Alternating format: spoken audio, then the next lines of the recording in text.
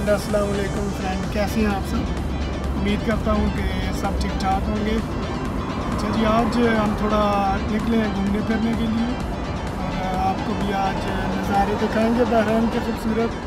आज मेरे साथ अब्दुल्ला है फतील्ला है, शुजात खान है आज। और जी, मौसम भी बड़ा खूबसूरत, खुशगवार मौसम है।